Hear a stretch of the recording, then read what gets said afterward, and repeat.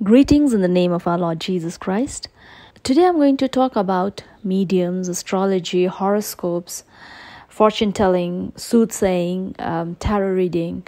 What are these um, mediums actually, and where does all these kinds of knowledge come from? Because we have seen that many times, uh, many of these prophecies or uh, fortune telling um, incidences uh, they come true in somebody's life. Even in tarot reading, one finds that things happen as that person, the tarot reader, has said so. So, uh, how does this happen, and uh, what is the source of this knowledge? Uh, once, um, a brethren in Christ, he told me that he had gone to an astrologer. The astrologer told him about his family structure and that his son or daughter is going to get married very soon. And um, the girl that he marries will be from a certain i think direction or family or something like that. And the other child of his is going to get a job or something like that.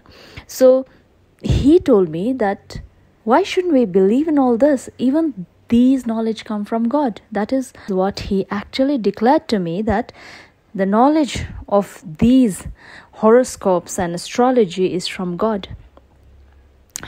But I uh, firmly declined that it is not from God, and I still do.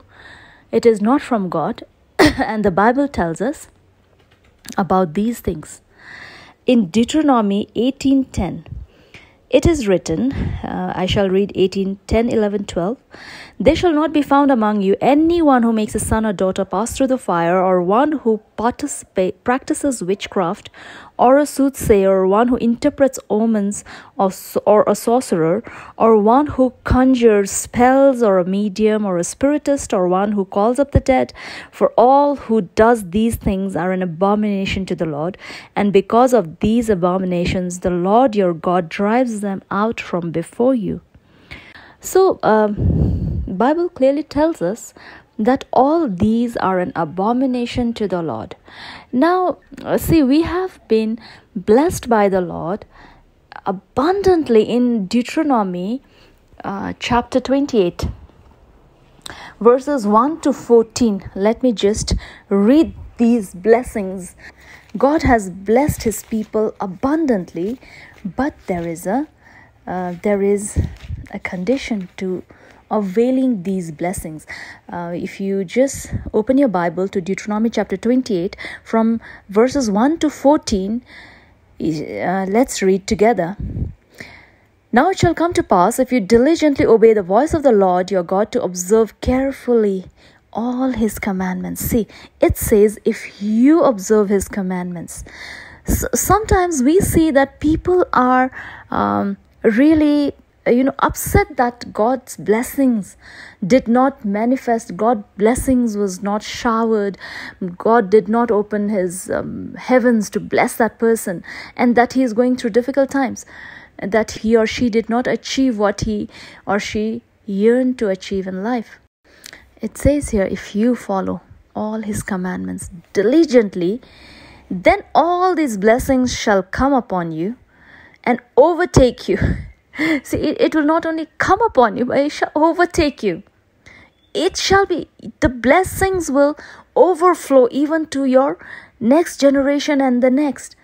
It shall overtake you because you obey the voice of the Lord your God. Because if we obey the voice of the Lord our God, this is when the blessings will abundantly be seen in your life. And the blessings are what are these blessings? Blessed shall you be in the city, and blessed shall you be in the country. Blessed shall be the fruit of your body, or produce of your ground, and the increase of your herds, the increase of your cattle, and the offspring of your flocks. It applies to you equally. If not for your cattle, for everything that you have in your household at the moment. Blessed shall be your basket and your kneading bowl. Blessed shall be when you come in. Blessed shall you be when you go out. The Lord will cause your enemies who rise against you to be defeated before your face. They shall come out against you one way and flee before you seven ways. The Lord will command the blessing on you in your storehouses and in all to which you set your hand, and he will bless you in the land which the Lord your God is giving you. The Lord will establish you as a holy people to himself, just as he has sworn to you, if you keep the commandments of the Lord your God and walk in his ways. See, that is the condition attached to these blessings. Then all the people of the earth shall see that you are you are called by the name of the Lord, and they shall be afraid of you. And the Lord will grant you plenty of goods in the fruit of your body, in the increase of your livestock, in the produce of your ground, in the land which the Lord swore to your fathers to give you. The Lord will open to you his good treasure, the heavens to give the rain to your land in its season, and to bless all the work of your hand. You shall lend to many nations, but you shall not borrow. And the Lord will make you the head and not the tail. You shall be above only and not be beneath if you heed the commandments of the Lord your God, which I command you today, and be careful to observe them, so you shall not turn aside from any of the words which I command you this day, to the right or to the left, to go after other gods or to serve them. See, God has kept blessings for his people abundantly, the blessings that will overtake you, overflow on to your next generation and on to the next. God has kept all these blessings for those who walk in His ways, those who follow His voice, obey His commandments. And where are these commandments? It's in the Word of the God, it's in the Bible. Have you opened your Bible and read it?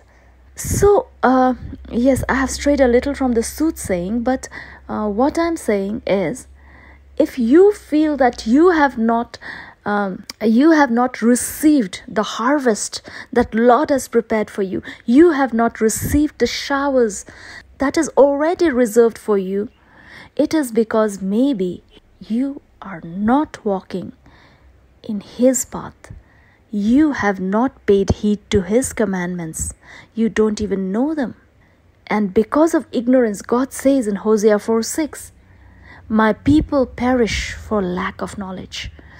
See, do not perish. If we are perishing, understand that we are perishing because of the lack of knowledge. That is what God says. And what lack of knowledge? The knowledge of His laws, His ways, His commandments. Let me also read Hosea 4, uh, verse 6 for you. In Hosea chapter 4, verse 6, it says, My people are destroyed for lack of knowledge because you have not because you have rejected knowledge, I will also reject you from being a priest for me. Because you have forgotten the law of your God, I will also forget your children. When we forget the law of the Lord, when we forget his ways, when we reject him in our hearts, we say, The Lord has not done anything for me.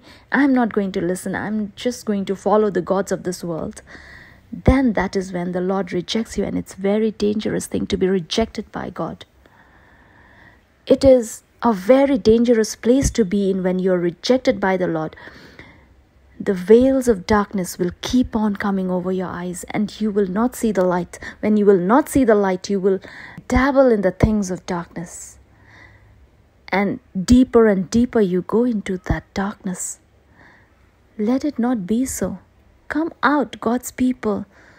Read the Word of God. Listen to His voice.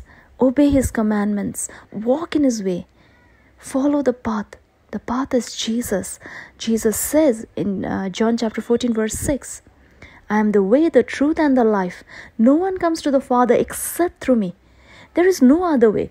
So let me come back to the original message that I had intended today. And that is, where does this knowledge come from? I will take you to Acts chapter 16. In Acts chapter 16, what has happened?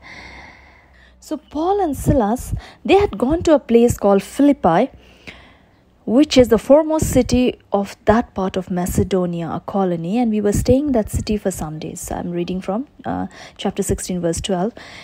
And so it happened in uh, 16 verse 16 uh, acts chapter 16 verse 16 now it happened as we went down to went to prayer that a certain slave girl possessed with a spirit of divination met us who brought her masters much profit by fortune telling.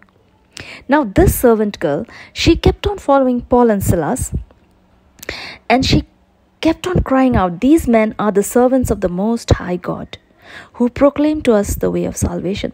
See, there is this girl who uh, earns a great deal of money by fortune telling for her masters. So, what does that mean? That means that whatever this girl um, prophesies to people actually comes true. That is how she's earning money.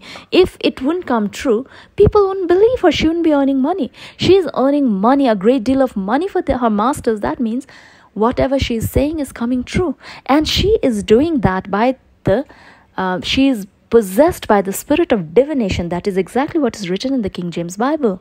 That she was possessed by the spirit of divination. It is not the Holy Spirit.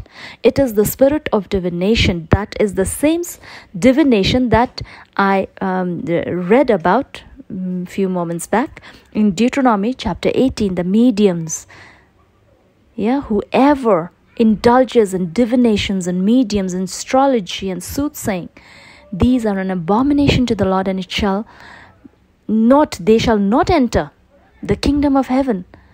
So, uh, this girl was telling people's fortune by this spirit of divination. It is also called necromancy. Necromancy is speaking to the dead. So, speaking to the dead, necromancy, and divination, fortune telling by the stars and the moons, these are an abomination to the Lord. And everyone who indulges, indulges in these shall be put to death. That is what is written in uh, the books of Deuteronomy and books of Leviticus, in the Old Testament, and even in the book of Revelation, who all shall not enter into the kingdom of heaven. Let's see. In Revelation chapter 21, for verse 8, because this is the last chapter. If you say it is only in the Old Testament, see here in the New Testament, the last final book of the New Testament, the book of Revelation, Chapter 21, verse 8 says, But the cowardly, unbelieving, abominable, murderers, sexually immoral, sorcerers, every form of sorcery, divination. Sorcerer is witchcraft, sorcery, divination, occult, all the soothsaying, the mediums, everything comes under sorcery. Idolaters and all liars have their part in the lake which burns with fire and brimstone, which is the second death. See, we all should fear the second death, the death which is an eternal separation from God, the death of the soul, not just the body. The body will eventually die because it is governed by the law of death. It will die. Anything that is born will have to die. So, but the second death is the death of the soul. The death of the soul is something which, as a believer in Christ, you will not experience. However, if you indulge in things like this idolatry, sexual immorality, murder, sorcery, medium, soothsaying then again you become part where you receive the judgment which is an eternal separation from God. That is the second death. So, here, this girl was possessed with the spirit of divination. So, but even the spirit world, they know who Jesus is because the demons have also uh, said many times in the New Testament. We see they say, You are Jesus, the Son of the Most High God. Why have you come us? Why have you come to torture us? Right when he meets the man with uh, many demons inside him, the legion of demons, that man cries out. He says, Jesus, why have you come before it's time? So he asks them, he asks Jesus to um, let them go to the herd of swine. And there were more than one demon in that person. So, this uh, world, the spirit world, they are really aware. Even devil knows the uh, word of God. because he has quoted from the Bible while tempting Jesus in the wilderness. He has said that God has said that he will uh, send your angels to bear you up lest you dash your foot against a stone. He has quoted directly from Psalms 91. And so, even the devil knows the Bible. Even the devil is terrified of going to hell. So, this um, girl, she is possessed with the spirit of divination, but whenever she, uh, she uh, sees Paul and Silas, she cries out, Men of the most, servants of the Most High God, who proclaim the way of salvation. She cannot but cry out, saying, You come from the, you are servants of the Most High God. That is exactly what has happened to Balaam. If you remember, Balaam was sent to curse Israel, but he cannot. The, the words that come out of his mouth are the words of blessings because they are the people of God. So he is unable to curse them. So that is what happens even with this girl that you are, you know, servants of the Most High God. And so uh, uh, every day she does that. And then Paul is greatly annoyed. So he turns and said, speaks to the spirit inside that girl. It doesn't say that he speaks to the girl, it says he said to the spirit. If you read in Acts chapter 16, verse 18, there is a spirit inside that girl. I command you in the name of Jesus Christ to come out of her. There is a spirit, unclean spirit, through which she is prophesying and fortune telling and earning money. So it is not the Spirit, the Holy Spirit. It's not the Spirit of God. It is an unclean spirit. And Paul delivers that girl from that spirit. And he came out that very hour. But when the master saw that their hope of profit was gone, they seized Paul and Silas and dragged them into the marketplace to the authorities. And then Paul and Silas was put to prison. So you see, this is the spirit of divination, the unclean spirit. When God created this world, in the beginning, God created light. He said, Let there be light. Uh, Genesis chapter 1, verse 4. And God saw, uh, verse 3, God said, Let there be light, and there was light. And God saw the light that it was good, and God divided the light from darkness. And he called the light day, and darkness he called night. So the evening and morning were the first day. See, in Genesis chapter 1, verse 3, 4, and 5, we see that God makes the light, he separates the light from darkness, and he calls the light day, and darkness he calls the night. And that was the first day. But you, if you come to chapter 14, God says, Let there be lights in the firmament of heavens to divide the day from the night, and let them be for signs of seasons and for days and years. And let them be for lights in the firmament of the heaven to give light on the earth. And it was so. Then God made two great lights the greater light to rule the day and the lesser light to rule the night, he made the stars also. God set them in the firmament of the heavens to give light on the earth, and to rule over the day and over the night, and to divide the light from the darkness. And God saw it was good. So the evening and the morning were the fourth day. So you see, the sun and the moon God made on the fourth day. So the light that He created on the first day is not the light of sun and the moon. It is the light of Christ. It is the light that we have to walk in. There are two spirit realms. One is the realm of light, and one is the realm of darkness. About this light, John says in uh, in the Gospel of John, chapter 1, it says, In the beginning was the Word, the Word was with God, and the Word was God. He was in the beginning with God. In him was the light of, uh, in him was the light, and the light was the life of men. Let me read that to you. John chapter 1. Uh, in the beginning was the Word, and the Word was with God, and the Word was God. He was in the beginning with God. All things were made through him, and without him nothing was made that was made.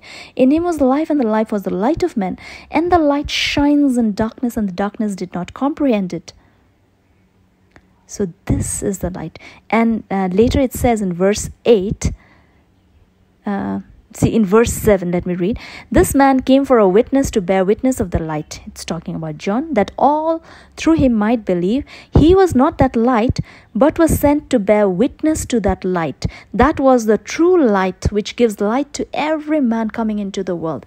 See about this light john from chapter 1 to chapter 9 makes it very clear that this light was the light of christ and this was made in the first day. So, we have a choice to make whether we want to walk in the light or we want to walk in darkness. So, these mediums and soothsayings and all the spirit of divination and necromancy, it comes from the realm of darkness. They also know. Yeah. But we who already know the light, have seen the light, have come into the light, must walk in the light. John 3:16 the verse that we also know, but I will uh, read till mm, 3 19, uh, 20. For God so loved the world that he gave his only begotten Son, that whoever believes in him should not perish but have everlasting life.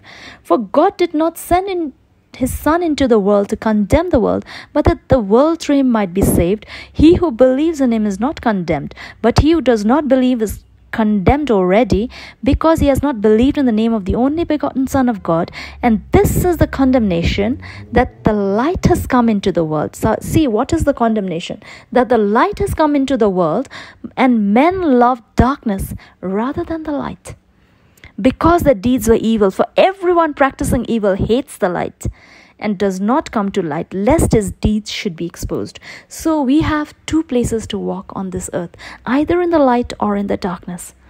So that is the choice, that is the free will God has given us. Whether we choose to walk in the light or we choose to walk in the darkness is up to us.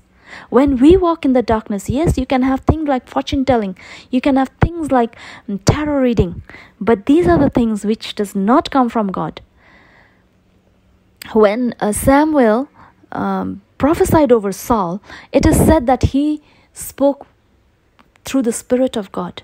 There is a difference between prophecy and fortune telling. The prophecy that comes from God and fortune telling that comes from this darkness. It is not same. So the brethren who asked me, doesn't all knowledge come from God? No, you are wrong. My dear friend, my dear brother, you are wrong it does not. So uh, let me show you in Psalm 139. David writes, My frame was not hidden from you when I was made in secret and skillfully wrought in the lowest part of the earth. Your eyes saw my substance being yet unformed, and in your book they were all written. The days fashioned for me, when as yet there were none of them. See, whatever is going to happen has already been written down in the book of God. It is already written. And since it is the spirit realm, even the um, powers of darkness, they have some knowledge about it. They will have some knowledge about it because God knows the end from the beginning. He it is already fashioned in which way we should go. So only when we come into the repentance of Christ, when we take upon us the blood of Jesus Christ, we repent of our ways and we accept and submit ourselves fully to Jesus Christ, then that is the place where, that is the place of light. And from then on, the devil will not be able to touch you. Yes, the devil can tell you, but why do you want to ask him? It is your choice to make whether you want to ask God or ask of the devil. What is going to happen? And we need not even uh, we need not even be anxious of what's going to happen to us. How the day is going to go in a horoscope. What is the point? What is the point? Trust in the lord. Trust in the lord. Just tell lord what you want to do. He will guide your path. Let him lead you. Let the holy spirit of god lead you that is more beautiful, more fulfilling. And cast all your cares to Jesus. Cast all your cares. Do not be anxious at all. You don't need to know. because you've already given your everything to God. He is your Father, He will take care of you. Have that confidence in Him. Walk in the Holy Spirit, walk in the light. When you walk in darkness, you're vulnerable, fearful, anxious. The devil can attack you from any side and you are you become more and more vulnerable. You cannot think straight. But when, when you are in the light, Jesus will guide you. He will hold your hand. You can walk with Him. And there is great peace, peace that surpasses all understanding. You do not worry, you're not fearful. You're not in a state of constant anxiousness. You cast all your cares upon the Lord. So, with this, I urge you to receive Jesus into your heart. Open your heart Tell Jesus, Jesus, I accept you as my personal Savior. From this day on, I will follow you. I will see, I will follow the light. I will not go back into darkness. Repent of all the dark deeds that you have ever done. Go on your knees, cry, repent. So when you repent, when you ask Jesus for forgiveness, He will forgive you. He has come, He died on the cross for remission of our sins, for forgiveness of our sins, and His blood washes all our sins. There is no other way for forgiveness, for remission of sin. There is no other way to salvation. Jesus is the only way. My brother, my sister, my friend, come back to Christ. If you have gone far away, come back. If you have never known Christ, taste and see the Lord is good. Accept Him. Ask Him to reveal Himself to you. Test Him, try Him, for He is a living God. And so, with this, I take leave. I pray the Holy Spirit speak to you and guide you into all the truth, for it is written, You shall know the truth, and the truth shall set you free. And Jesus is the truth. Jesus Christ is the truth, the way, and the life.